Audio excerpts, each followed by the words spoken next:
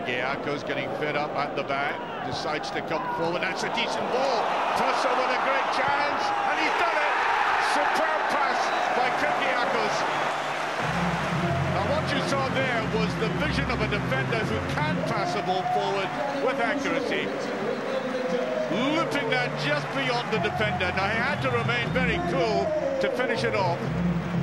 And 13 minutes gone, Rangers are one up.